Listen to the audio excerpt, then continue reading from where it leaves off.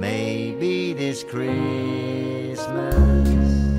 When I made my Christmas album last year, my aim was to represent all the different layers and traditions of the season from both the northern and the southern hemispheres, not your standard Christmas album.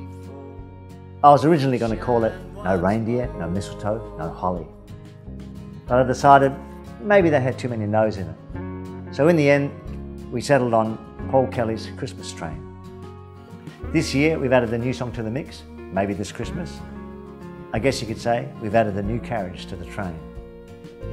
Maybe this Christmas we'll find us at last in heavenly peace.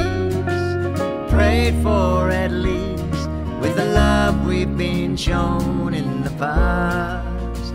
Mm, maybe this Christmas.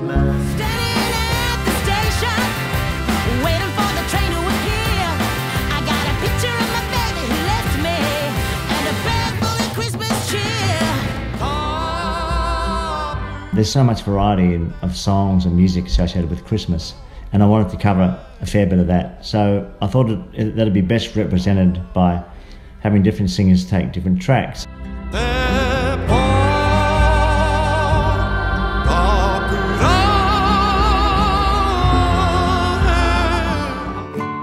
My favourite Christmas song, I think hands down, is Silent Night.